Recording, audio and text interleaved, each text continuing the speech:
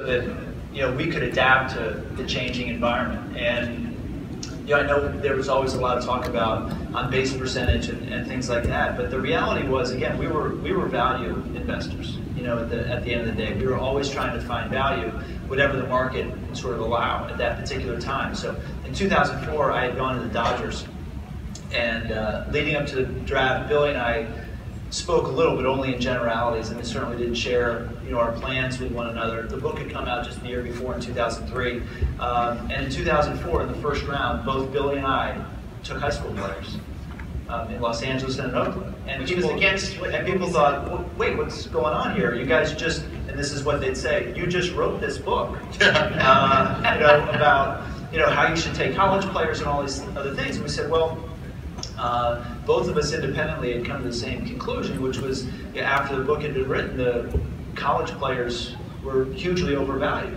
for a short period of time because everyone said, "Oh, we ought to take college players," and that's what they started doing. That the influence you had, Michael Lewis. How about that? Well, you know, it was funny. The book, they were they, some economists did a study to see what had happened to the the price of on base percentage, uh, and it went like that after the book came. Then, then I, I don't know what's happened since, but And, you know, we did things like we signed Chris Singleton, Mhm. um, who was a great defensive outfielder, but not necessarily a big on base guy or anything like that. People were were flummoxed with, with what we were doing. But again, for us, it was always about uh, just finding value where, wherever it was.